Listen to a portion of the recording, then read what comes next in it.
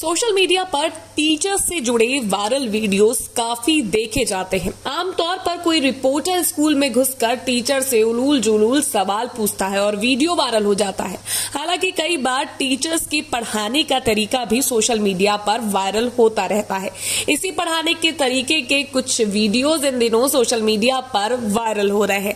इस viral video में teacher ने बच्चों को इस अंदाज से हिंदी की शिक्षा दी कि जो लोगों के मन को भा गई जी हाँ लोगों को ये वीडियो खासा पसंद आ रहा है।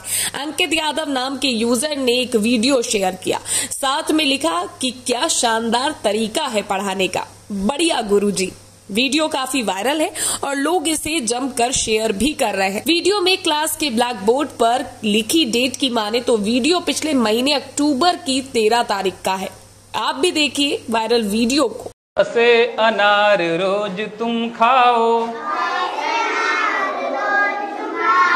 आसे आम का पेड़ लगाओ।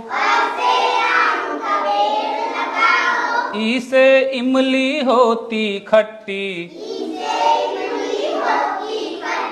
इसे ईख की चीनी मीठी।